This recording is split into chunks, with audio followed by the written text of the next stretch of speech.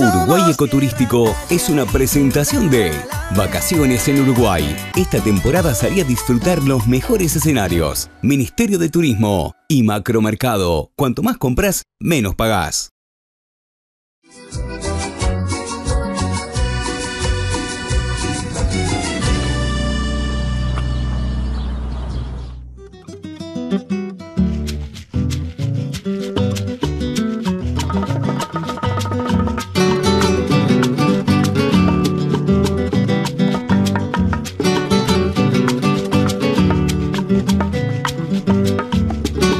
¿Habías venido ya a algún lugar así como esta estancia? Estuve, he venido a este lugar en particular. Ah, ya habías venido. No, no a la estancia, porque Ah. ¿qué pasa? Esto es parte de un ecosistema muy interesante, porque en primer lugar, por allá por el 1982, se hace acá en esta zona un embalse muy grande. Todo este espejo tiene como 342 kilómetros de espejo de agua. Incluso el pueblo Andresito, que está un poquito más atrás y que ahora días como hoy, que está de seca, se pueden ver incluso partes de las construcciones antiguas, incluso de los montes que había en el lugar. Y es una zona muy interesante porque está frente a Flores y Flores de este lado tiene todo un geoparque súper interesante donde tenés una posibilidad incluso de ir a las grutas del palacio, donde tenés la posibilidad de ir a los eventos que hace Flores Abiertos aquí en Parque Andresito, uno de los festivales más lindos. Entonces, Parque Andresito es un clásico de Es nuestro clásico. país. Todo el mundo lo conoce. Tal cual, y estamos enfrente en realidad. Claro. O sea, cuando estamos, en este caso que parece, digamos, como bien decía, es una lengua, una península que ingresa al río, pero del otro lado y está entre lagos. Entonces, es como que cuando vos pasas por estos puentes que son increíbles, en el medio está esta estancia. Para mí un lugar hiper privilegiado y cuando tuvimos la posibilidad de que María José nos dijo, si quieren venir, estamos preparando, digamos, todo un proyecto nuevo, digamos, reciclando, mejorando el casco antiguo que estamos alojados hoy. La verdad que es increíble. Y digo, bueno, hay que aprovechar estas oportunidades. Uruguay es lindísimo, Karina. Eh, lo que ha mejorado Uruguay turísticamente lo estás viendo Sí, sí. y el ecoturismo es uno de los productos más apreciados en el mundo. Entonces hay que aprovecharlo.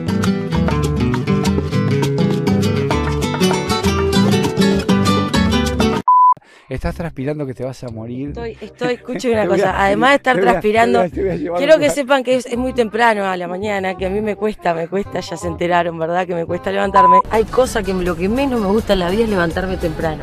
Bueno, Y el capitán Sacapoco me levantaste seis y media de la mañana. Y el mate de Diego que le pone té de durazno. Nunca había visto un mate con té de durazno. Decí algo, sos decí. una muy mala persona. Decile a la Karina, gente, contale a la gente Karina, de tu receta. sos- Señora, vecina, vecino, anote usted cómo hacer un mate diferente, un mate acá a orillas de la lengua del Río Negro, en este lugar paradisíaco. Diego les va a dar la receta. Adelante, Diego. Es muy Por muy Chile, por Chile. Es muy simple, Karina, muy simple. A tu mate normal, yo le pongo en el termo un poquito de durazno, entonces le da un aroma, un sabor un poquito más suave a la hierba dura esa que tomamos, que a vos te gusta tanto y que seguramente en algún momento va a ser tu sponsor. Entonces, digo, yo la matizo, pero la gente dice, ¿qué estás haciendo? Bueno, pero no le pongo azúcar, por lo menos. Hay otros que le ponen azúcar. Sigue hablando, señor. Ay, mira qué lindo. Ay, mira. Y está ahí el caracolito, ¿lo ven? Está vivo, lo vamos a arrimar al agua. Ay, sí, pobrecito, vamos a tirarlo al agua. Bueno, anotaron, ¿no? La yerba con. No, el agua con té de durazno. Bueno, acá está con el hermanito, ¿eh? Ahí está. Listo. Ahí quedó. Es la hora del día. Sopa de caracol, guataneguí con su yupi yupi.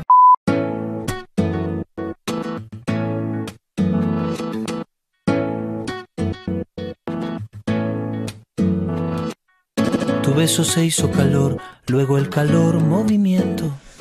Es muy linda la estancia, digo, típica estancia rústica. Tiene varios dormitorios, son todos parecidos. Hay uno central mucho más bonito que este, pero después tiene dos iguales a este que están buenos.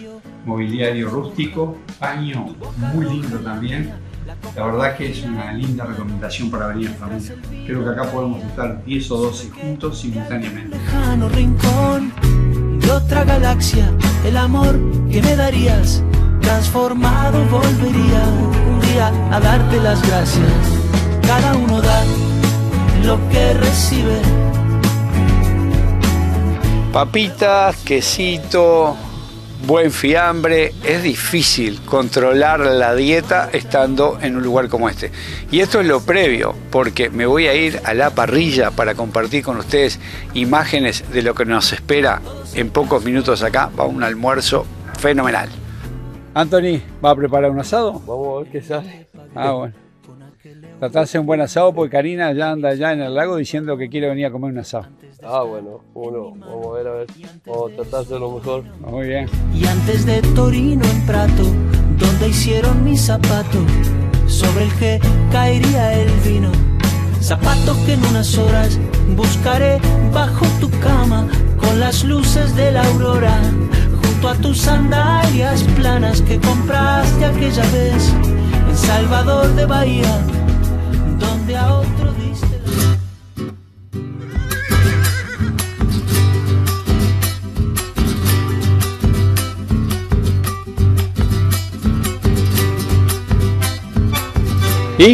Y bueno, se viene la cabalgata, que como María José es muy aventurera, le tengo miedo que me lleve taca, taca, taca el galope. Pero bueno, mirá, me prestaron la bombacha de campo. Y me puse championes. Porque acá andan con chiquitas, ¿eh? ¿Qué caballo me toca? El colorado. El colorado, que es el más manso, ¿verdad? Dios mío.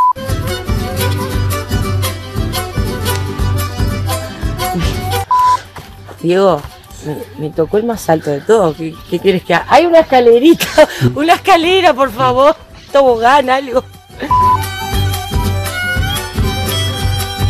¿Qué vas a hacer? con- ¿Se lo vas a poner ahí para que tenga un escalón? A ver si podés ahí. Ah, no, no. Esto, esto, esto es un papelón. Esto es un papelón.